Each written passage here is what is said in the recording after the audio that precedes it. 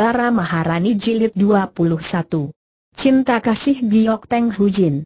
Aku dengar makhluk aneh ini berasal dari wilayah Siih, entah bagaimana caranya dia menyesuaikan diri dengan iklim di wilayah Kanglam yang hangat ini. Di wilayah Siih toh terdapat pula musim semi dan musim panas, di situ kan bukan sepanjang tahun tertutup salju melulu, Sementara pembicaraan masih berlangsung Pui Cediok telah membawa kedua orang itu mendaki ke atas bukit dan tiba di depan gedung megah terbuat dari batu putih itu. Tampaklah dua orang dayang kecil membuka pintu segera muncullah Giok Teng Hujian yang nampak agung dan cantik di balik dandanannya yang mewah. Pui Giok lari masuk lebih dahulu, serunya dengan suara riang, Hujian, Xiao Ong Ya telah tiba. Giok Teng Hujian berdiri di sisi pintu, biji matanya yang jeli berputar dan menatap wajah Hoa Tian Hang dengan penuh senyuman. Hoa Tian Hang segera melangkah masuk ke dalam ruangan, serunya kembali memberi hormat.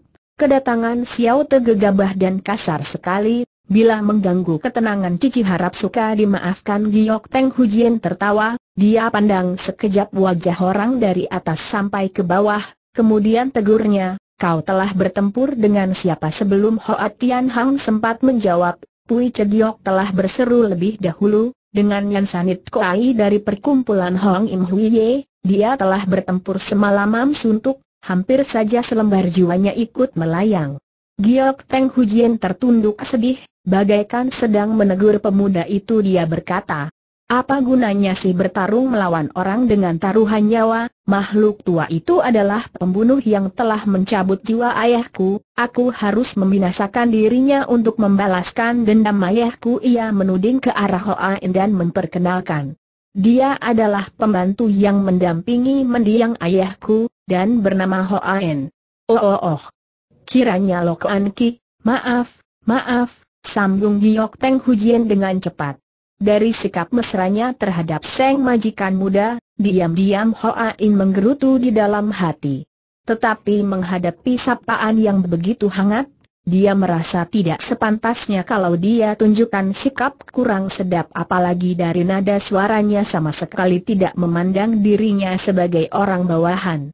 Sambil memberi hormat sahutnya, tidak berani, maaf bila aku telah mengganggu ketenangan Hujian Giok Teng Hujian tersenyum, dia gandeng tangan Hoa Tian Hang dan segera diajak masuk ke dalam, ujarnya, bukankah pasukan besar dari pihak Hang Im Wei serta Sin Kie Pang belum tinggalkan kota Chengkeng? Apakah kau menyusul kemari secara diam-diam Hoa Tian Hong mengangguk? Aku sengaja datang kemari untuk menjumpai diri Cici sahutnya. Apakah ada urusan penting? Hoa Tian Hang tidak langsung menjawab, dia merasa tidak leluasa untuk bicara terus terang karena dalam ruangan itu di samping terdapat Pui Che Giok serta dua orang dayang kecil tadi, dari dalam ruangan muncul pula dua orang gadis muda berusia 7-16 tahunan. Tiga kekuatan besar dalam dunia persilatan sedang terjadi pertikaian dan tanpa sadar Xiao Te ikut terseret di dalam kancah kekalutan ini, Katanya cepat, karena itu aku merasa kesal sekali, sengaja aku datang kemari untuk mengunjungi Cici sampai menghilangkan semua kemurungan yang memenuhi dalam benak Giok Teng Hujian tertawa, sinar matanya berkilat dan mengerling sekejap ke arah pemuda itu dengan pandangan mesra. Di manakah Pek Kun Gie? Bagaimana tanggung jawabmu terhadap Pek Xiao Tian ia menggoda? Merah jengah selembar wajah Hoa Tian Hong, apa yang mesti aku pertanggungjawabkan sahutnya sambil tertawa. Apa yang menjadi kesulitan Xiao terasanya Cici tentu memahami juga bukan Cis. Kau ini makin berbicara semakin tidak genah, kenapa ngomongnya tidak karuan sementara itu semua orang sudah memasuki sebuah ruangan besar yang sama sekali tertutup, setelah menghidangkan air teh Giok Teng Hujian segera memerintahkan dayangnya untuk menyiapkan hidangan. Beberapa saat kemudian meja perjamuan telah diatur, Hoa Tian Hang duduk di kursi utama didampingi oleh Giok Teng Hujian di sisinya, sedang Hoa En duduk di kursi sebelah bawah. Sepanjang perjamuan berlangsung, Giok Teng Hujian turun tangan sendiri melayani kedua orang itu bersantap dan minum arak, sikap yang begitu hangat membuat suasana berjalan dengan meriah. Setelah meneguk secawan arak, Hoa Tian Hang berkata sambil tertawa, gedung ini sungguh megah dan indah sekali, kecuali Cici dan beberapa orang nona, apakah masih ada orang lainnya lagi? Masih ada beberapa orang nenek tua. Ia berhenti sebentar, sambil tertawa tambahnya, tua muda yang tinggal dalam gedung ini semuanya terdiri dari kaum wanita, tak seorang pun pria yang tinggal di sini tempat ini jauh letaknya dari markas besar, apakah kau tidak merasa kerepotan kalau mesti pergi datang melakukan perjalanan sejauh ini? Giok Teng Hujian tertawa. Meskipun aku tergabung di dalam perkumpulan Tong Tian Kau, namun gerak-geriku sama sekali tidak terikat oleh siapa pun juga, mau dinas atau tidak siapa pun tidak pernah mencampuri urusanku, kecuali menghadapi urusan yang maha penting aku baru pergi ke markas besar apakah kau cu dari perkumpulan Tong Tian kau juga berdiam di dalam kulit Guan Koan? Apakah kedatanganmu ke selatan kali ini tujuannya adalah mencari Tong Tian kau cu tegur Giok Teng Hujian dengan alis berkerut. Sambil tertawa Hoa Tian Hang menjeleng. Aku sama sekali tidak kenal dengan dirinya, Buat apa mesti pergi mencari dirinya? Rupanya Giok Teng Hujian tidak ingin menyaksikan pemuda itu bentrok langsung dengan ketua dari perkumpulan Tong Tian Kau itu, mendengar ucapan tersebut dengan wajahnya serius dan menjawab, kalau memang tujuanmu bukan mencari kaucu dari perkumpulan Tong Tian Kau, buat apa kau mesti urusi di manakah? Ia berdiam setelah termenung kembali beberapa saat lamanya, dia berkata lagi, Nama besar Yan Sanit Koai telah menggetarkan seluruh dunia persilatan, dari mana mungkin kau bisa menandinginya? Kita telah maju bersama sahut Hoa Tian Hang sambil menuding ke arah Hoa En. Pui Che Giok yang ketika itu berdiri di samping meja perjamuan segera menyela pula sambil tertawa, Kong Cuya galak sekali, barusan dia hendak mencabut selembar jiwaku, Giok Teng Hujian tertawa, dan tidak menggubris ucapan pelayannya itu, sambil satu memenuhi cawan emas. Hoa Tian Hang dengan arak wangi katanya lagi, sudah hampir mendekati tengah hari, minumlah secawan arak lagi dan segera bersantap. Selesai bersantap pelayan muncul menghidangkan teh wangi. Hoa Tian Hang yang melihat di sekitar sana terdapat banyak orang, mulutnya selalu bungkam terhadap tujuan yang sebenarnya, sedang Giok Teng Hujian pun tidak bertanya lagi tentang persoalan itu. Tanpa terasa waktu sudah menunjukkan tengah hari lewat.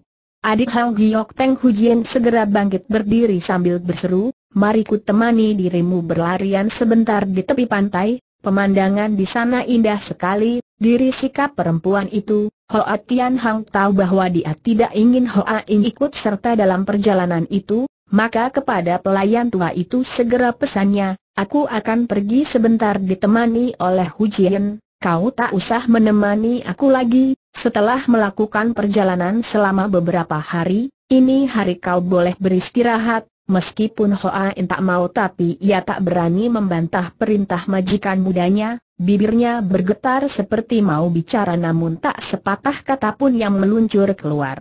Che Giok, siapkan tempat tinggal perintah Giok Teng Hujian pula, Baik-baiklah layani pengurus tua, jangan sampai bertindak ayal hingga kurang pelayanan.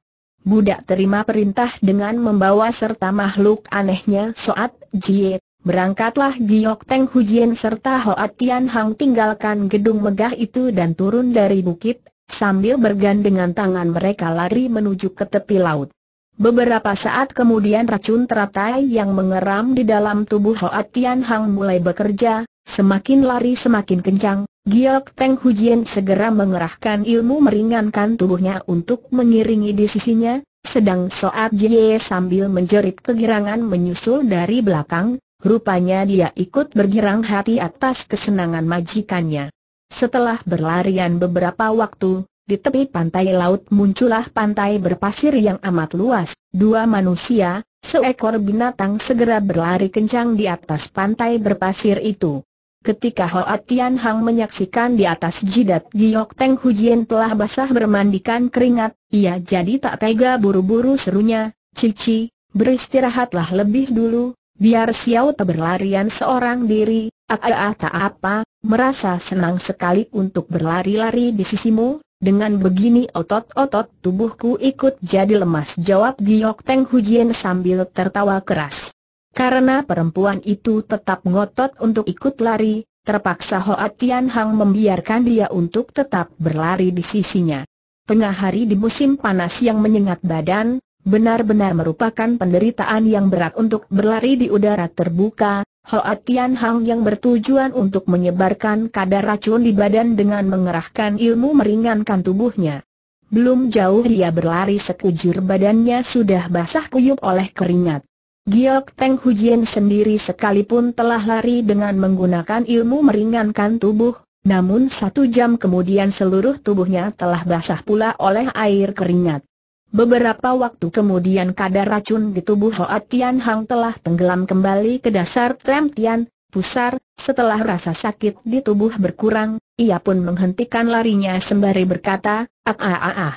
Sekarang sudah baikan, Ayo kita beristirahat sambil mengerut dada, Giok Teng Hujian menghembuskan napas panjang, tiba-tiba serunya sambil tertawa, ayo kita terjun ke laut, dan mandi ia tarik tangan pemuda itu dan lari menuju ke lautan.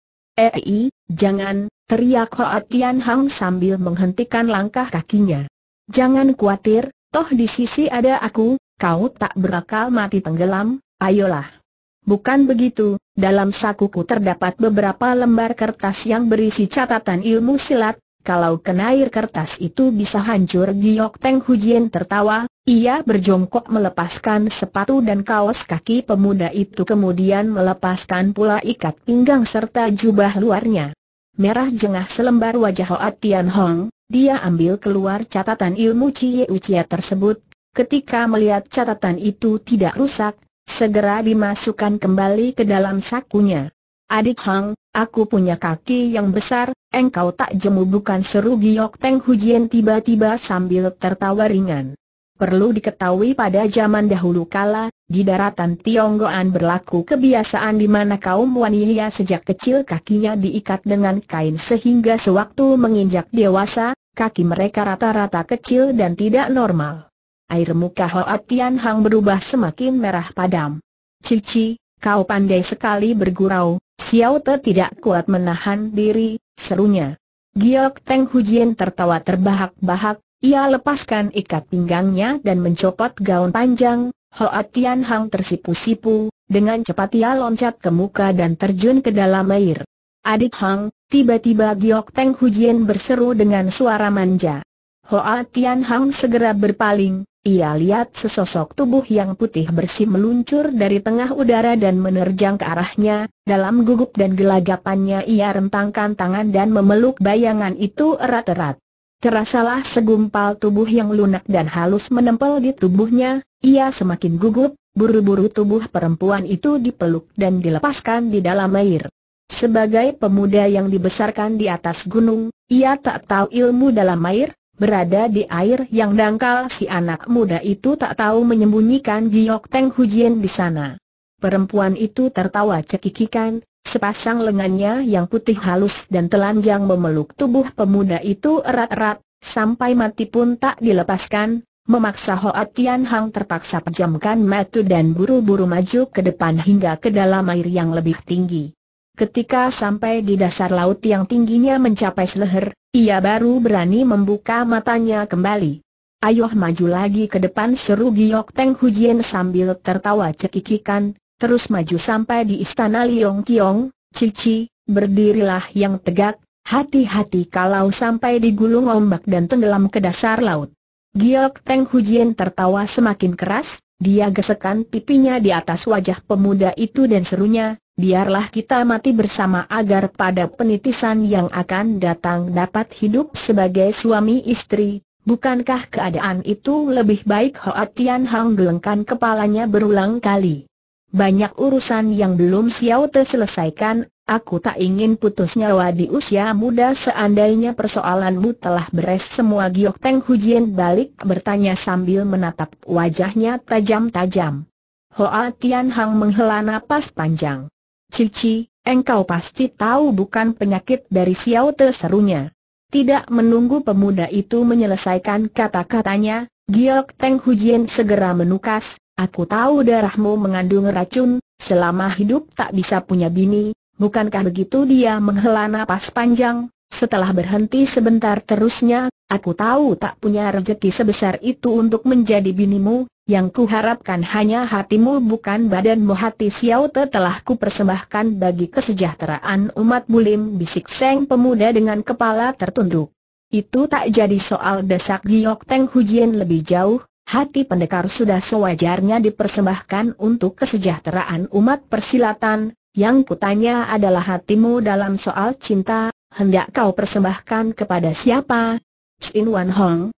Atau Pekun Gie tertegun hati Hoa Tian Hang mendengar teguran itu, pikirnya di dalam hati, seandainya ditanya cintaku yang sejati, maka harus ku jawab hatiku telah ku persembahkan untuk Eng Chi Wan Hong, sudah tentu perkataan semacam ini tidak sampai ia utarakan keluar.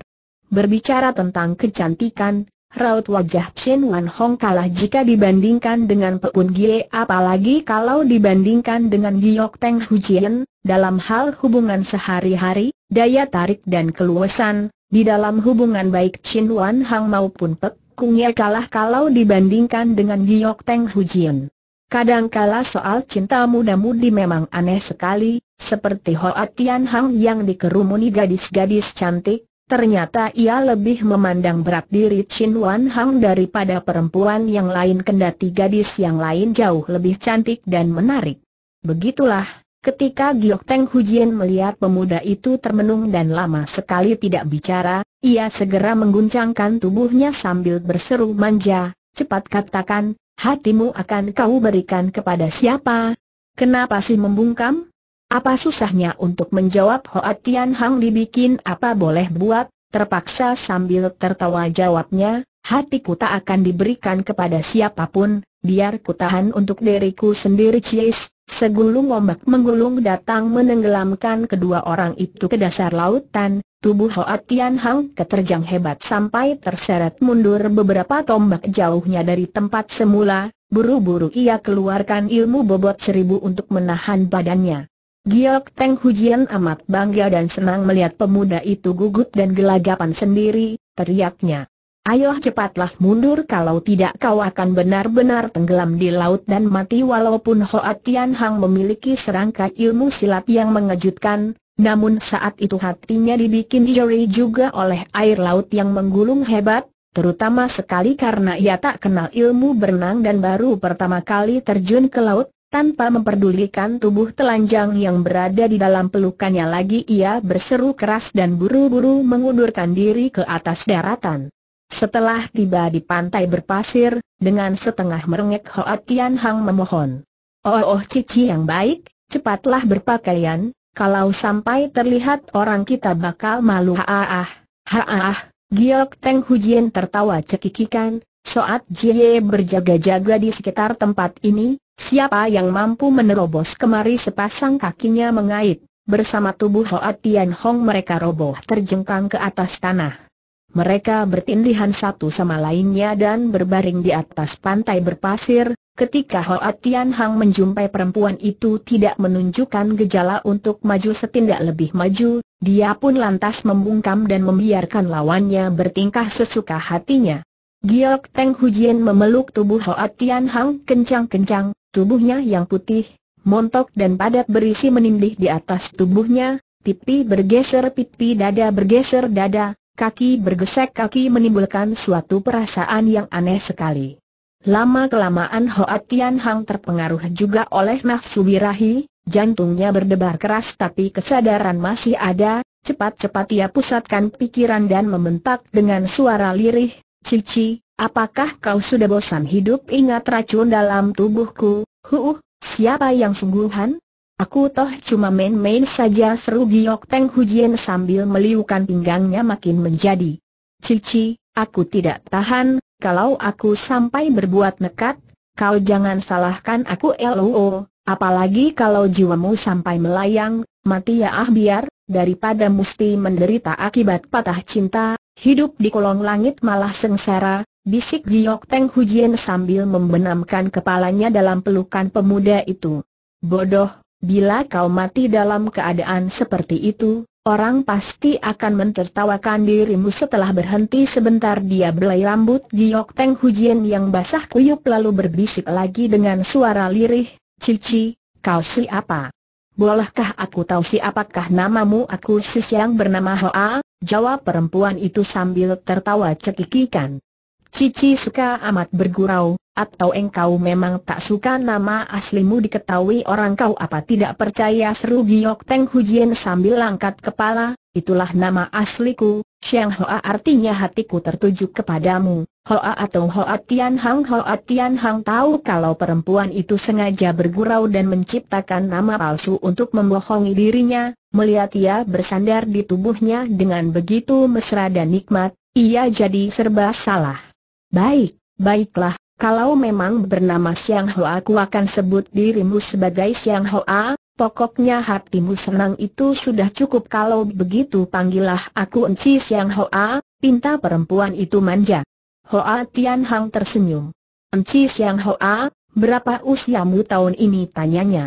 Lebih besar satu tahun darimu lebih baik kita jangan membicarakan soal tetek bengek lagi, Xiao tak ada satu urusan penting hendak dibicarakan dengan Cici, Apabila Cici tahu maukah engkau memberitahu dengan jujur Giok Teng Hujian mengangguk. Nyawa pun aku rela berikan kepadamu, masa menjawab saja tak mau, cepat utarakan pertanyaanmu itu Jawaban itu diutarakan dengan bebas dan leluasa, membuat orang sama sekali tidak curiga. Dengan terus terang Hoa Tian Hang berkata, Xiao tak ingin mencari tahu duduk perkara yang sebenarnya tentang latar belakang pembunuh terhadap Jin Bong, Siapakah pembunuhnya? Apa tujuannya? Apakah pedang emas milik Jin Hian telah hilang dan siapakah otak yang merencanakan pembunuhan tersebut? Sepasang alis Giok Teng Hujian kontan berkerut, serunya, mau apa kau tanyakan masalah tentang peristiwa itu? Ketahuilah semakin banyak yang kau tahu semakin bahaya jiwamu perkumpulan Sin Kie Pang, Hang Im Wei dan Teng Tian kau tak mengizinkan Xiao Te hidup di kolong langit, Xiao Te sendiri pun tak senang mereka tetap berdiri tegak di dalam bulim, suatu hari mereka pasti akan bekerja sama untuk menghadapi sekelompok kekuatan pihak kami, karena itu Xiao Te ingin menyelidiki latar belakang dari peristiwa pembunuhan itu, serta berusaha untuk mencari apakah ada kesempatan baik yang dapat kupergunakan. Giok Teng Hujian segera gelengkan kepalanya, dengan suara lembut dia berkata, lebih baik jangan mencari kerepotan buat diri sendiri, semua persoalan serahkan saja pada Cici, kau hidup Cici pun hidup. Kau mati, Cici tak akan mampu melindungi Xiao Te tukas Hoa Tian Hang sambil gelengkan kepalanya. Giok Teng Hujian tertegun, lama sekali ia baru berkata dengan suara lirih, kejadian itu merupakan peristiwa yang paling membuat hatiku menyesal, karena persoalan itu kendati sekarang kucongkel keluar hatiku dan mempersembahkannya kepadamu, belum tentu engkau akan mengampuni jiwaku, belum tentu aku bisa menggembirakan hatimu. Cici, apa yang kau bicarakan? Xiao Te sama sekali tidak mengerti, seru Seng pemuda kebingungan. Aaai, aku maksudkan peristiwa yang terjadi sewaktu di dermaga penyeberangan sungai Wangho, tidak sepantasnya kalau aku berpeluk tangan belaka melihat kau bunuh diri. Wajahnya kelihatan berubah jadi amat sedih dan murung sehingga membuat hati orang yang melihat jadi iba dan kasihan. Aaai, lain dulu lain sekarang ujar Hoa Tian Hang sambil menghela napas, tempo dulu kita baru bertemu untuk pertama kalinya, kita berdua belum pernah kenal dan punya hubungan persahabatan, lagi pula di situ hadir pula cukat racun Ya Usut serta malaikat berlengan delapan Kim. sekalipun Cici bermaksud menolong aku, belum tentu situasi mengizinkan engkau berbuat begitu Giok Teng Hujian gelengkan kepalanya berulang kali. Aaai tidak benar, aku bernama Siang Hoa, sudah sepantasnya kalau ku tolong dirimu kendati harus korban selembar jiwaku, bukankah aku bernama Siang Hoa, condong ke Hoa? Aaai waktu itu aku telah salah berpikir, kini mau menyesal pun sudah terlambat, perkataannya begitu menarik dan menawan hati seakan-akan perempuan itu benar-benar menyesal sekali, membuat Hoa Tian Hang jadi melongo dan termangu-mangu. Kau marah kepadaku bisik Giok Teng Hujian lagi. Sejak pertama kali sampai sekarang aku tak pernah marah kepadamu. Kenapa aku harus marah Giok Teng Hujian tertegun, kemudian serunya kembali, HMM. Kau tentu marah, kau bilang sejak pertama kali itu berarti kau pernah marah kepadaku, biar orang menganiaya diriku, aku tak akan menganiaya orang lain, Cici jangan kau ucapkan kata-kata yang tak ada artinya lagi, cepat ceritakan latar belakang dari peristiwa tersebut, Seru Hoa Tian Hang dengan alis berkerut, kau ingin tahu tentu saja, sedari dulu aku sudah tahu kau tentu terlihat dalam peristiwa ini. Giok Teng Hujian tertawa cekikikan. Boleh saja kalau suruh aku bicara, tapi kita mesti bermesraan dulu kalau tidak jangan harap aku mau bicara Hoa Tian Hang merasa amat jengah, tapi apa boleh buat terpaksa ia peluk tubuh perempuan itu kencang-kencang kemudian mencium dan menggerayangi tubuhnya. Beberapa saat kemudian pemuda baru bicara sambil tertawa, Cici, kau terlalu romantis, sekarang tak boleh bercanda lagi, cepat ceritakan latar belakang dari peristiwa berdarah itu. Peristiwa berdarah apa sih? Aku sama sekali tidak mengerti sebenarnya kau ingin bicara tidak bicara soal apa. Bisik Giok Teng Hujian tertawa cekikikan, perempuan itu tetap tak bicara. Siapakah yang membinasakan Jin Bong tersebut? Giok Teng Hujian yang selamanya binal dan tak dapat disuruh tenang, saat ini berubah jadi jinak dan halus sekali, sambil bersandar di tubuh Hoa Tian Hang jawabnya dengan suara lembut, Pui Che Giok yang melakukan pembunuhan itu. Pui Che Giok yang mana itu tuh, budak yang ada di rumah kau ngaco belo teriak Hoa Tian Hang dengan suara terperanjat. Hubungan muda-mudi kadang-kala memang aneh sekali, tiba-tiba Hoa Tian Hang bersikap seolah-olah di alas seng tuan rumah, sedang Giok Teng Hujian lebih rendah dari seorang dayang, setelah gugup sebentar ujarnya kembali dengan suara lirih, Aku bicara sungguhan kau tidak percaya, siapa sih yang berani membohongi dirimu ketika itu? Aku hadir pula di tempat tujuan, aku lihat raut wajah Seng pembunuh mirip sekali dengan Pek Kun. Giai kalau dibandingkan dayangmu itu wajahnya jauh lebih cantik. Aku toh bisa merubah-rubah wajahnya menurut kehendak hatimu, kalau tidak percaya entar malam akan ku suruh dia merubah wajah jadi orang yang mengatur semua rencana besar ini kecuali engkau apakah masih ada orang lain tanya Seng pemuda dengan pikiran bingung bercampur ragu. Oh oh oh, kalau soal ini sih rahasia yang amat besar, tak boleh membiarkan pihak ketiga ikut mengetahui oh oh, jadi engkau seoranglah yang merencanakan permainan setan ini? Apa tujuanmu Giok Teng Hujian tertawa bangga, sahutnya, tujuanku tentu saja pedang emas. Jin Hian telah menyembunyikan pedang emasnya di dalam perkampungan Liok Soat Sanceng dan menyimpannya di bawah tempat pembaringan dari putranya, Perbuatannya itu begitu rahasia sekali sehingga Jin Bong si setan yang sudah modar itu pun tak tahu Hoa Tian Hang gelengkan kepalanya berulang kali. Sebenarnya apa sih kegunaan dari pedang emas itu? Sampai di mana toh nilainya sehingga perlu engkau susun rencana besar untuk merampasnya dari tangan orang lain? Mendengar pertanyaan tersebut, Giok Teng Hujian segera tersenyum, jawabnya lembut, aku sendiri pun tak tahu apa kegunaan dari pedang emas itu, tetapi aku memang punya kegunaannya yang lain apakah kegunaan itu tanya Hoa Tian Hang pura-pura gusar, hatinya agak tercelos. Hiih, hiih, hiih, Kembali perempuan itu tertawa cekikikan, ah ah ah, sekarang aku tak akan memberitahukan kepadamu, lain kali saja, kalau waktunya sudah tiba baru ku beritahukan kepadamu. Huu cengar-cengir terus, ketahuilah urusan itu mempunyai hubungan yang erat sekali dengan situasi dalam dunia persilatan, ayo cepat beritahu kepadaku dengan sejelas-jelasnya. Ayo kita bermesraan lagi toh, nanti ku beritahukan kepadamu. Huu kamu ini, benar-benar masih seperti anak kecil, karena terpaksa maka pemuda itu pun mulai bercanda dan bergurau kembali dengan perempuan tersebut, sesaat kemudian Giok Teng Hujian menengadah ke atas dan berbisik.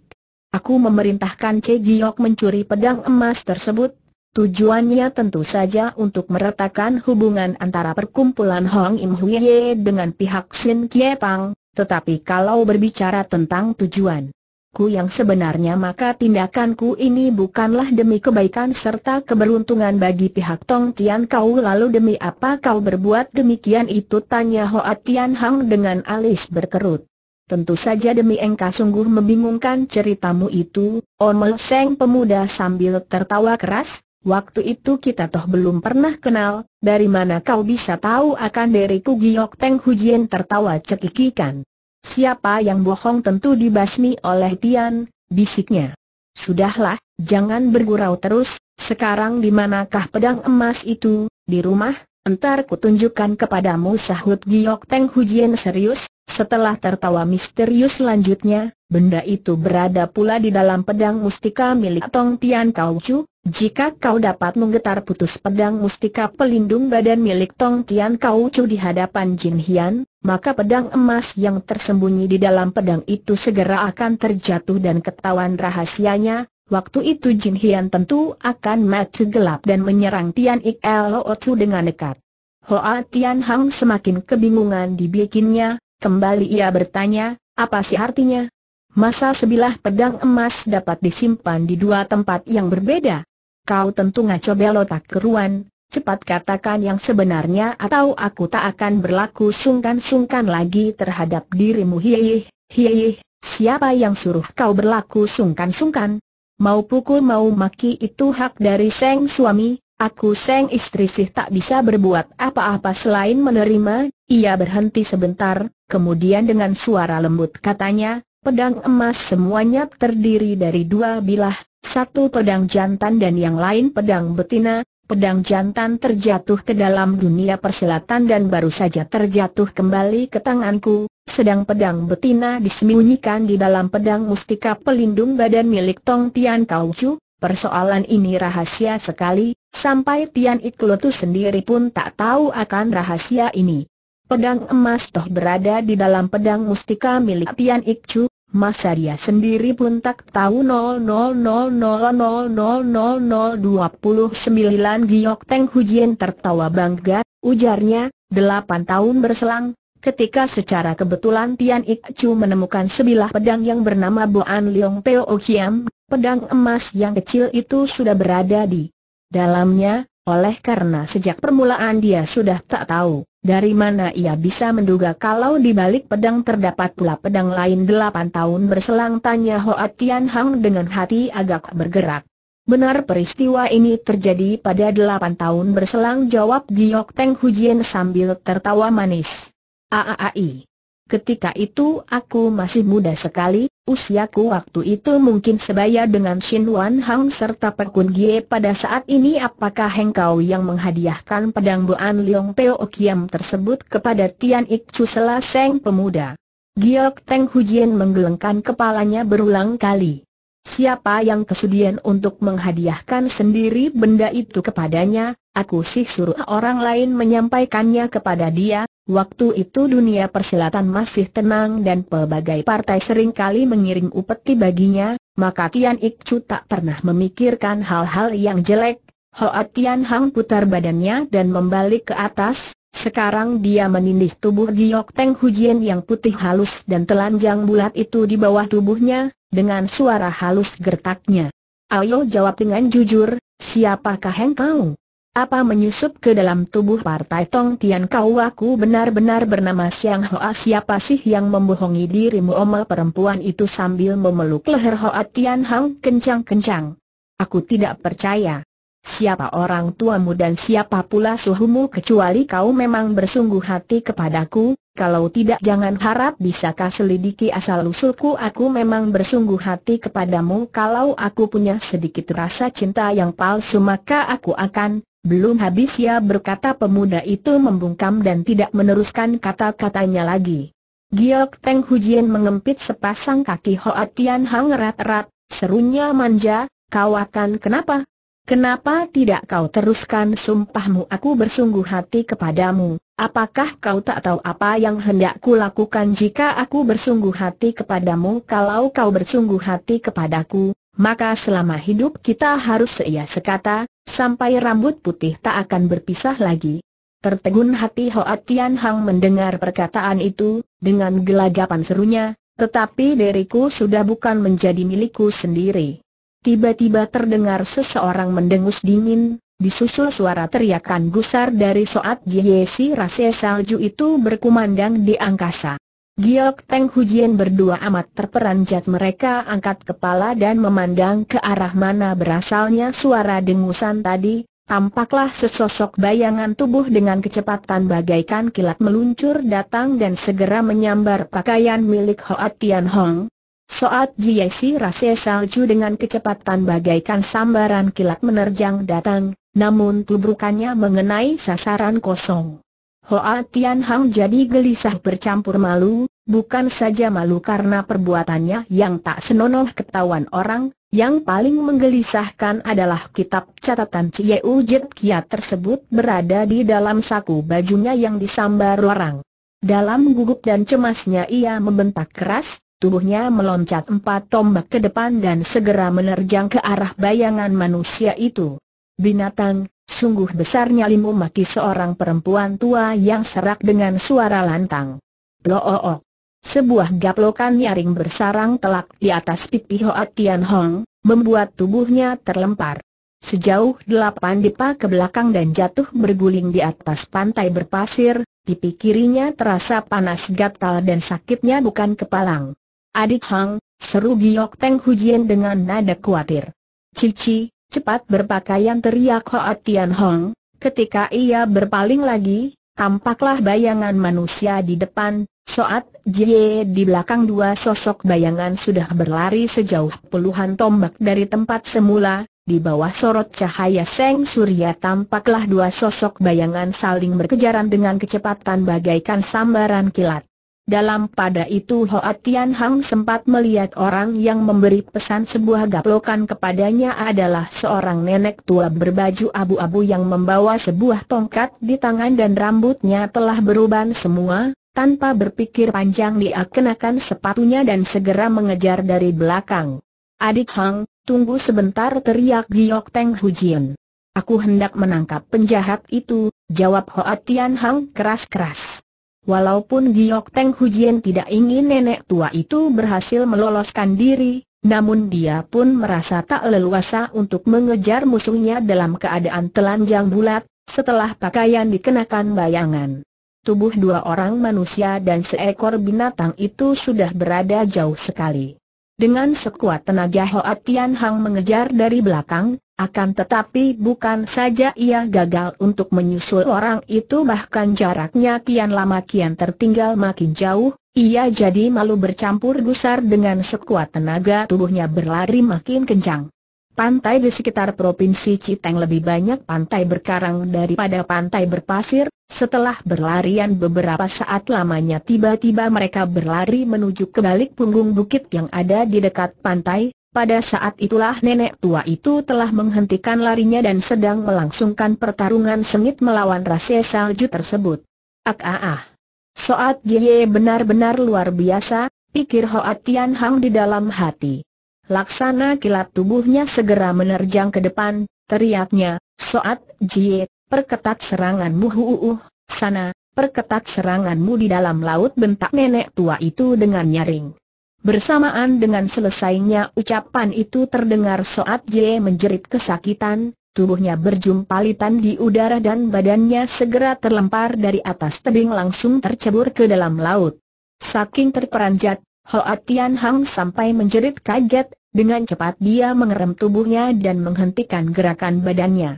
Dia tahu sampai di manakah lihainya soat dia makhluk aneh tersebut, kecuali menghadapi ilmu silat seperti yang dimiliki Yan Sanit Koai, terhadap orang-orang yang punya kepandaian lebih cetek tentu tak akan berhasil merubuhkan binatang itu dengan gampang. Sorot matanya segera dialihkan ke arah depan, kurang lebih dua tombak di hadapannya berdirilah satu orang, dia bukan lain adalah seorang nenek tua berambut putih dan memegang tongkat berkepala hang di tangannya. Sambil mengetuk toyanya ke atas tanah, nenek tua berbaju abu-abu itu membentak gusar, telur busuk cilik, ayo cepat menggelinding kemari mau apa menggelinding di situ Hoa Tian Hang balik bertanya dengan hati mendongkol. Sambil menjawab biji matanya berputar terus memandang sekeliling tempat itu, dia lihat Soat Jie telah berenang ke pantai dan ketika itu sedang mencari jalan untuk mendaki tebing tersebut. Tampaklah Seng Nenek tua sambil mengibarkan pakaian dari Hoa Tian Hang berseru kembali, kenapa? Kalau tak bisa kalahkah aku, pakaian ini jangan harap bisa kau minta kembali. Hoa Tian Hang merasa amat jengah sekali, dia sadar bahwa ilmu silatnya masih bukan tandingan lawan, pikirnya di dalam hati, lebih baik aku mengulur waktu beberapa saat lagi, asal Cici dan Soat Jai sudah tiba semua di sini rasanya waktu itu kekuatan kami cukup untuk merampas kembali pakaian tersebut, cuma, entah kitab catatan Cie Ujit Ciat masih utuh atau tidak dalam hati ia berpikir, sedang di luaran pemuda itu sengaja berjongkok dan pura-pura membetulkan sepatunya, menggunakan kesempatan itu dia melirik ke belakang, serunya lantang, usiamu sudah amat besar, aku tak sudi berkelahi dengan dirimu wajah nenek tua berbaju abu-abu itu sudah penuh berkerut, giginya telah hompong dan usianya sekitar 90 tahun lebih namun semangatnya masih menyala dan sifat berangasannya masih berkobar. Ia segera mendengus dingin, sambil mengetuk toyangnya ke atas tanah bentaknya, HMM. Kalau begitu, nih, ambillah pakaianmu di dalam lautan, tangannya diayun dan jubah luar tersebut segera dilempar ke bawah tebing karang. Hoa Tian Hang terkejut, dia takut kitab catatan Cieu Jiat yang berada di sakunya basah dan hancur, tidak peduli diri lagi ia ikut meloncat dan berusaha menghalangi perbuatan nenek tua itu, teriaknya keras-keras, di dalam saku ada. Heeh, heeh, telur busuk Ci satu ek, aku harus baik-baik mendidik dirimu seru nenek baju abu-abu sambil tertawa seram. Tanpa kelihatan gerakan apakah yang telah dipergunakan, Sekali sambar ia sudah tangkap pinggang Hoa Tian Hang kemudian sambil mengempit di bawah ketiak ia kabur dari situ. Hoa Tian Hang yang gagal menyambar pakaiannya seketika merasakan pinggangnya jadi kaku dan seluruh tenaganya musnah dan tak mampu dipergunakan lagi, dari tempat kejauhan ia masih sempat mendengar teriakan dari Giok Teng Hujian, namun pemandangan di sekelilingnya sudah tidak nampak jelas lagi sebab gerakan tubuh nenek itu cepatnya bukan kepalang. Pemuda itu bermaksud mengerahkan hawa murninya dan coba membebaskan jalan darah yang tertotok, akan tetapi setiap saat hawa murninya gagal untuk dihimpun kembali. Sungguh cepat perakan tubuh nenek tua itu, dia lari menuju ke arah barat dengan kecepatan bagaikan kilat, ada jalan atau tidak, tanah berbukit atau mendatar ia melakukan perjalanannya tanpa berhenti atau lambat barang sedikit pun jua. Kurang lebih dua jam kemudian nenek tua baju abu-abu itu baru menghentikan langkah kakinya, ia lempar tubuh Hoa Tian Hang ke atas sudut batu besar dan ia sendiri pun duduk di sisinya. Hoa Tian Hang merasakan kepalanya pusing tujuh keliling, matanya berkunang-kunang dan dadanya sesak sekali. Setelah beristirahat sebentar ia baru mampu menenangkan diri. Ketika tangan dan kakinya digerakkan, ternyata jalan darah yang tertotok telah bebas dengan cepat pemuda itu loncat bangun dan memandang keadaan di sekeliling tempat itu. Ayo berlutut bentak si nenek tua dengan suara keras, kau pingin digebuk Hoatian Hang? gugup sekali, lututnya jadi lemas dan hampir saja ia jatuhkan diri berlutut, tapi semangat dan keberaniannya muncul kembali, sambil busungkan dada ia menjura, katanya sambil tertawa paksa, siapakah nenek? Selamanya aku tak pernah berlutut di hadapan orang jahat setan bangor cilik bentak nenek tua itu dengan mata melotot dan mengetukkan tongkatnya ke atas tanah. Kau bukan orang baik-baik, kalau kau tak mau berlutut lagi jangan salahkan kalau akan ku beri persen sebuah tempelengan lagi sekalipun yang sanit koai, dia tak akan memukul diriku dengan begitu saja, sungguh kukai nenek tua itu, batin Hoa Tian Hang di dalam hati kecilnya. Karena keder tanpa terasa pemuda itu jatuhkan diri berlutut, serunya, nenek sudah lanjut usia, asal engkau bukan orang jahat hamba suka berlutut di hadapanmu. Huuh bermulut manis dan pandai cari muka, kau memang hidung bangor cilik nenek itu melengos dan segera berpaling ke arah lain. Ketika menyaksikan nenek tua itu seakan-akan sedang memikirkan sesuatu, diam-diam Hoa Tian Hang merangkak bangun, tapi belum sempat pemuda itu berdiri tegak, nenek tua itu sudah berpaling sambil membentak gusar, hidung bangor, kau benar-benar ingin digebuk eh, he eh, eh, orang tua, bayangan manusia berkelebat lewat, nenek tua itu sudah menyambar datang sambil menghadiahkan pula sebuah tempelengan. Buru-buru Hoa Tian Hang tarik pinggang mengegos ke samping, dengan suatu gerakan yang manis ia meloloskan diri dari ancaman tersebut.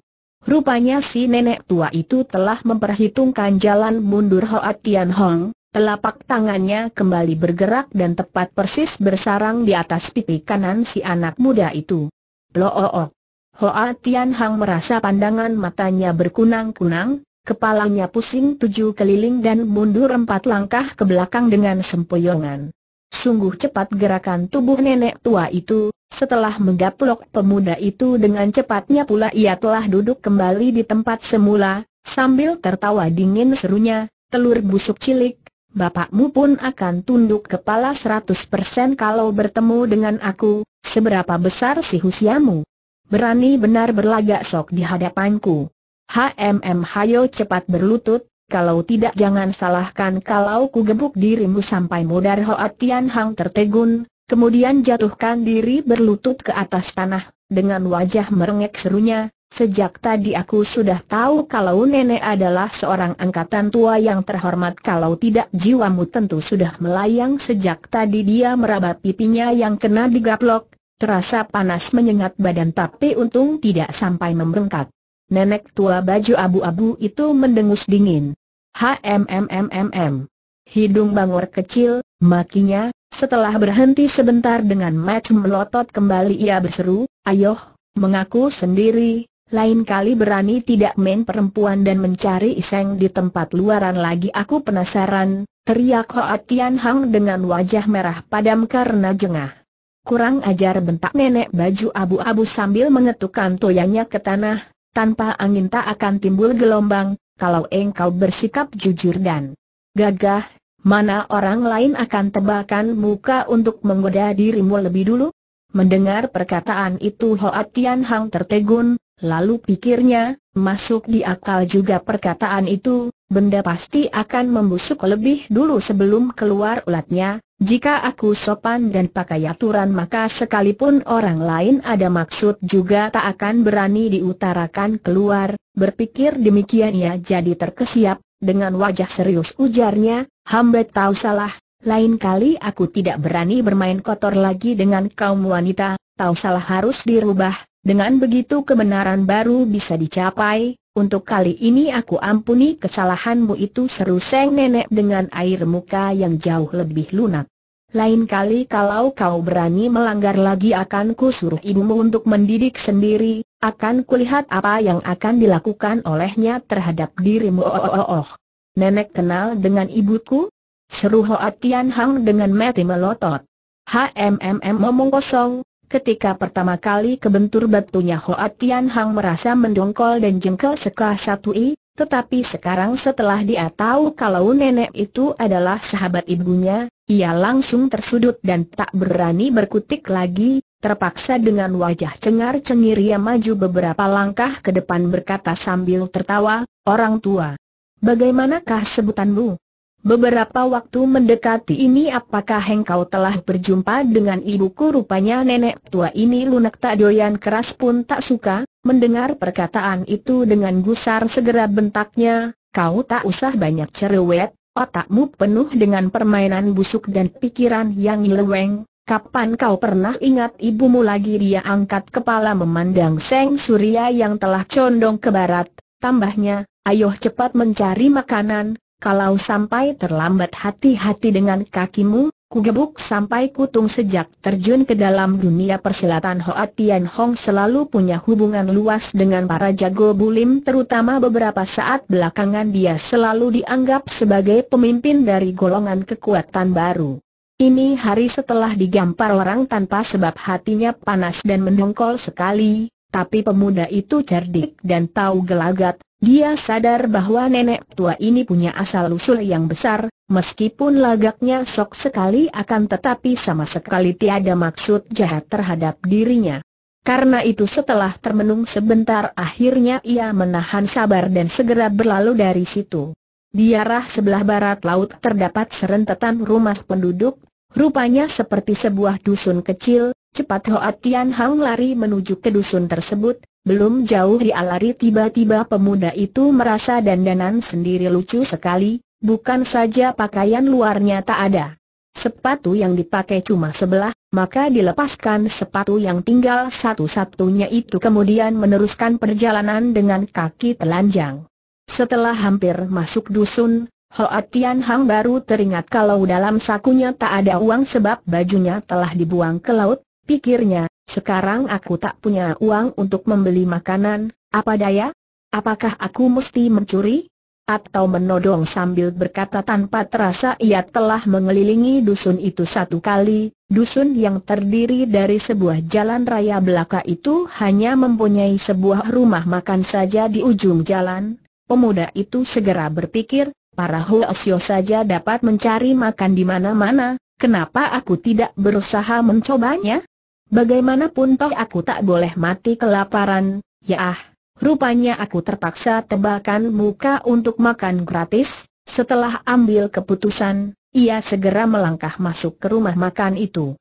Pelayan di pintu nampak tertegun dan berdiri melongo ketika menyaksikan Hoa Tian Hang dengan dandanan seperti pengemis masuk ke dalam rumah makannya, dengan suara ragu-ragu ia berseru, saudara adalah, orang-orang dusun seperti itu adalah orang yang menghargai pakaian tidak menghargai orangnya, Melihat dandanan Hoa Tian Hang yang tidak karuan itu timbullah rasa sangsi dan curiga di dalam hatinya.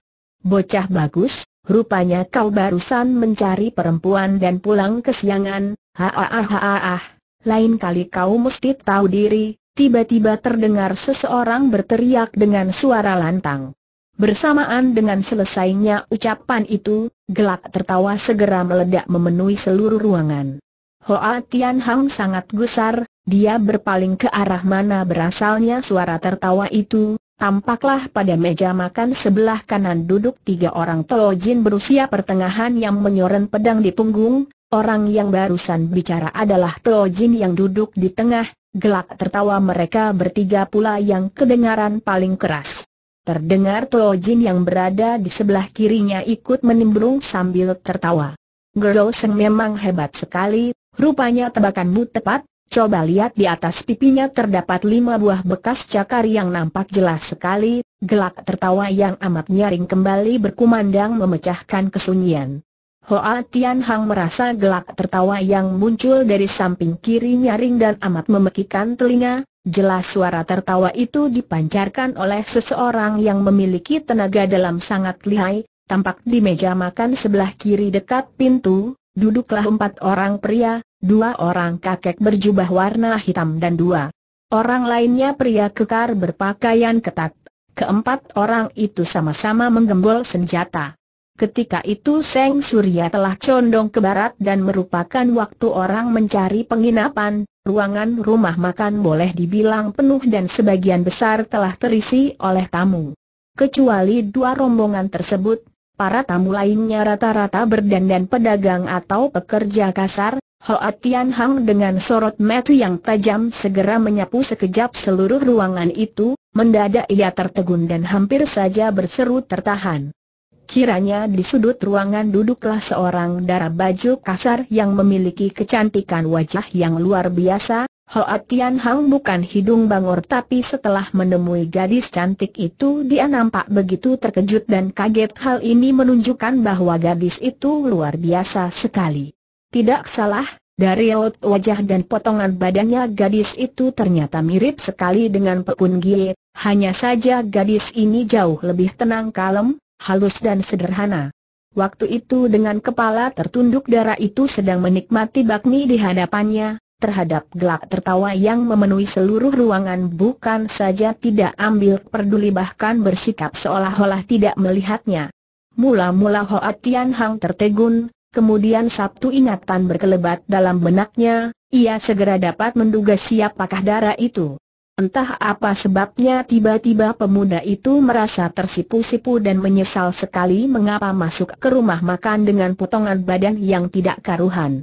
Tiba-tiba terdengar Tojin berusia pertengahan yang duduk di tengah itu berseru kembali, keparat, melihat wanita cantik sepasang matanya langsung terbelalak lebar, Rupanya dia memang benar-benar seorang manusia hidung bangor Hoa Tian Hang teramat gelusar sekali ketika dilihatnya orang-orang itu sebentar memandang ke arahnya sebentar lagi melirik ke arah darah cantik itu dengan wajah penuh ejekan, diam-diam gak menyumpah, posu bajingan, kalian memang punya mata, tak berbiji, teringat akan gamparan yang diterimanya hari ini, Rasa mendongkol yang selama itu masih berkecamuk di dadanya segera disalurkan ke arah Tojin berusia pertengahan itu, dalam hati timbullah rencana untuk memberi ganjaran kepada Tosu tadi. Tepat di depan pintu masih ada meja kosong, setelah melirik sebentar pemuda itu segera maju ke depan dan duduk dengan membelakangi pintu. Rupanya Seng pelayan juga tak tahu diri, dengan wajah cengar-cengir penuh ejekan dia menghampiri. Pemuda itu sambil bertanya, Tuan, apakah engkau juga akan minum arak bawa dulu secawan air teh jawab Hoa Tian Hang sambil menahan hawa marahnya. Melihat si anak muda itu adalah sasaran bahan tertawa bagi semua orang, mendengar pula logatnya berasal dari luar daerah, timbul pula niat pelayan itu untuk menggoda, dengan suara keras sengaja ia berteriak, ambilkan secawan air teh, air teh itu untuk Kongcu yang sedang ketimpa kesusahan, kalau bisa cari yang dingin, budak tak tahu diri sumpah Hoa Tian Hang di dalam hati, kau juga berani menggoda diriku, HMMM, tunggu saja nanti, akan kubereskan pula dirimu. Beberapa saat kemudian pelayan telah muncul dengan membawa sepoci air teh dingin, sambil siapkan cawan dan sumpit sambil tertawa cengar-cengir ujarnya lagi, Kongcuya, Rupanya kau baru saja mengalami perampokan, kau hendak pesan apa sambil berkata. Biji matanya dengan tajam menyapu seluruh tubuh Hoa Tian Hong, rupanya dia sedang memperingatkan kepada pemuda itu kalau di sakunya tak ada uang. Hoa Tian Hang mendengus dingin, ia letakkan poci air teh itu di tengah meja, cawan didekatkan dengan mulut poci lalu mengambil sebatang sumpit dan ditancapkan di dalam cawan tersebut. Sungguh aneh sekali, sumpit itu seakan-akan menancap di dalam hiolo saja ternyata berdiri tegak dan sama sekali tidak goyang. Dalam sekejap mata ketiga orang Tojin berusia pertengahan maupun dua orang kakek baju hitam dan dua orang pria berpakaian ketat itu berubah air muka, suasana jadi hening dan sunyi hingga tak kedengaran sedikit suara pun. Haruslah diketahui demonstrasi mengerahkan tenaga dalam ketubuh sumpit itu sehingga dapat berdiri tegak di dasar cawan tak bisa dilakukan oleh setiap orang dengan mudah, namun Hoa Tian Hang bisa melakukannya dengan gampang dan tak berbekas, kejadian ini benar-benar luar biasa sekali. Tetapi yang terutama adalah kode rahasia yang diperlihatkan si anak muda itu, membuat orang merasa tercengang dan sama sekali di luar dugaan.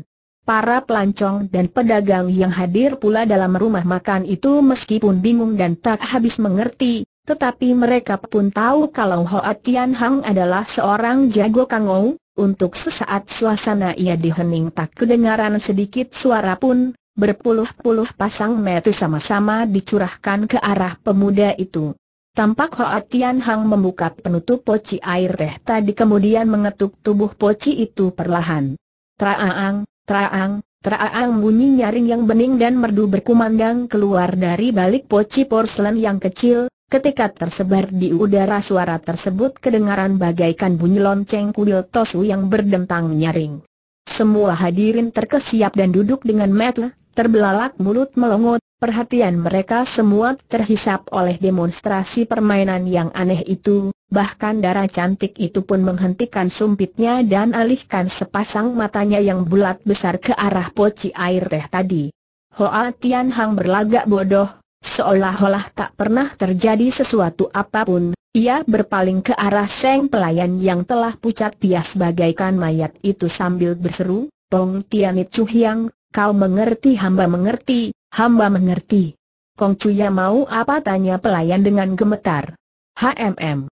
Siapkan empat macam sayur yang paling lezat, nasi, arak wangi dan siapkan di atas nampan pelayan itu mengiakan berulang kali, dengan badan masih gemetar buru-buru diangeloyor ke dapur. Tiba-tiba ketiga orang Jin berusia pertengahan itu saling bertukar pandangan sekejap kemudian bangkit berdiri dan maju menghampiri Hoa Tian Hong. Setelah tiba di hadapan pemuda itu, mereka berdiri berjajar dengan Jin yang disebut Gerlo Suheng berada. Di tengah, sambil silangkan telapak di dada memberi kode rahasia ia berkata, siapakah nama sahabat? Apakah baru saja masuk menjadi anggota perkumpulan aku tak boleh berbuat bodoh? Kalau tidak tingkah lakuku pasti akan jadi bahan tertawaan di dalam bulim pikir Hoa Tian Hang di dalam hati. Bukan menjawab dia segera balik bertanya, bagaimana sebutan kalian dengan Tian Seng Tao? Yang dia adalah susuk pinca bertiga dengan wajah serius. Hoa Tian Hang mengangguk. Ehm, jadi kalian adalah anak murid dari Kau Cut Jin itu membenarkan, ia menyahut, Pinca bertiga adalah anak murid dari Kaucu, sahabat, engkau mendapat penghormatan di sektor mana tak usah banyak bertanya, tukas pemuda itu sambil goyangkan tangannya, Tian Sentooti yang menyebut saudara dengan aku, bila kalian tahu salah, ayo cepat bayar kening kalian dan cepat pergi Gerlo Suheng, dia tentu orang gadungan yang mengaku-ngaku saja teriak Tojin di sebelah kiri mendadak. Jin yang ada di tengah mendengus dingin, ia memandang sekejap ke arah Hoa Tian Hang lalu. Berkata, sahabat, kalau engkau tak mau menerangkan asal-usulmu lagi, jangan salahkan kalau pintu akan kurang sopan terhadap dirimu. Huuuh. Sejak tadi kau sudah tak tahu sopan, dosa kalian mesti dihukum, ayo jalankan hukuman sendiri daripada aku mesti repot kriying. Ketiga orang Jin itu mencabut keluar pedangnya dan segera menyebarkan diri, dengan membentuk posisi segitiga mereka tutup jalan mundur si anak muda itu. Suara hiruk pikuk memecahkan kesunyian, para tamu yang sekeliling tempat itu sama-sama bangkit dari tempat duduknya dan mundur ke belakang, hanya empat pria baju hitam serta gadis cantik itu saja yang masih tetap duduk tak berkutik di tempat semula.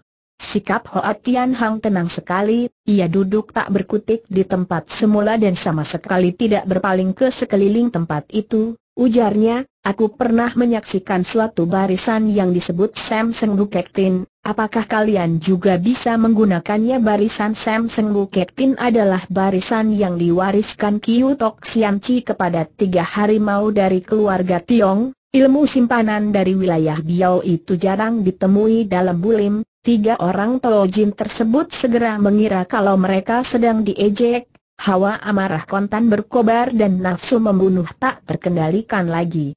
Jin yang berdiri di depan pintu tiba-tiba membentak keras, pedangnya digetarkan ke udara menciptakan berpuluh-puluh buah titik cahaya bintang yang mana langsung menusuk tulang punggung si anak muda itu. Hoa Tian Hang menjengek sinis, tubuhnya sama sekali tidak goyah dari tempat semula, menanti ujung pedang hampir menyentuh tulang punggungnya ia gerakan lengan dan tiba-tiba mengirim satu pukulan ke belakang. Selama setahun dua tahun kebelakangan ini, dia selalu tekun memperdalam jurus pukulan Kun Siu Citaunya, Terhadap penggunaan jurus pukulan tersebut boleh dibilang sudah hafal dan matang sekali, serangan yang dilancarkan barusan bukan saja hebat bahkan tepat mengarah ke dada musuh.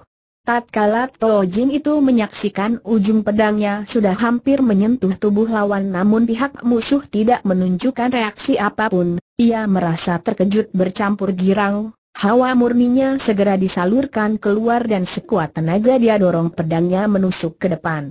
Tiba-tiba segulung angin pukulan yang maha dahsyat bagaikan gulungan ombak di samudera meluncur ke muka, pedang dalam genggamannya segera bergetar keras, bukan saja tusukannya menceng setengah depa ke samping bahkan kuda-kudanya gempur dan badan Toya terjerumus ke depan langsung menumbuk bahu kanan pemuda lawannya. Ketika pertama kali Hoa Tian Hang berjumpa dengan Ciurit Bong, kakek telaga dingin pernah menyapu salju membentuk tiang salju yang berpusing di udara sehingga mengejutkan hatinya, jurus yang pernah dipergunakan oleh Ciurit Bong itu sekarang dipergunakan olehnya, Semua inti kebagusan dan kehebatan dikeluarkan membuat pukulan itu bukan saja nampak aneh dan membingungkan bahkan bila seseorang tak punya kepandaian yang lihai, tentu tak akan tahu di mana letak kelihayan dari serangan tersebut. Bentakan keras bergema memecahkan kesunyian, cahaya kilat menyambar lewat, dua bilah pedang bersama-sama meluncur datang, satu dari kiri yang lain dari kanan. Semangat Hoa Tian Hang berkobar, Tangannya berputar mencengkeram pergelangan tangan Tolo Jin yang ada di belakang tubuhnya, sekali ayun pedang tersebut segera menangkis ancaman dari sebelah kanan, tangan kiri di ayun mengirim pula satu pukulan ke depan. Teraang bentrokan keras terjadi menimbulkan suara dentingan yang nyaring, percikan bunga api munkrat keempat penjuru dan kedua bilah pedang itu sama-sama tergetar patah. Semua peristiwa terjadi dalam sekejap mata, Serangan Hoa Tian Hang mencekal pergelangan musuh, dengan pedang lawan memukul kutung pedang lawan semuanya dilakukan dalam sekali gerakan, di balik serangan membawa pula pertahanan yang kuat dan rapat, tahu.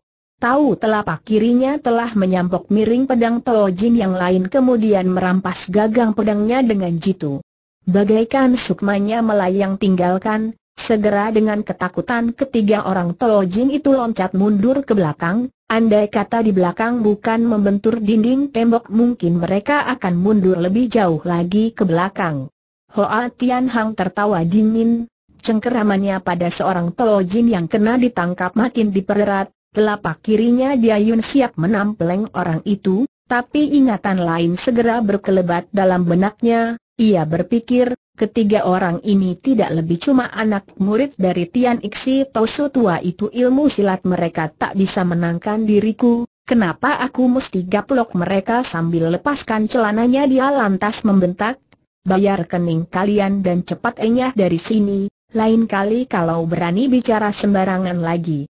HMMM lihat saja, akan kucabut jiwa kalian semua dengan wajah pucat pias bagaikan mayat, Ketiga orang Jin itu saling berpandangan sekejap, tiba-tiba Toin di tengah melemparkan sekeping uang perak ke atas meja kemudian putar badan dan kabur dari situ.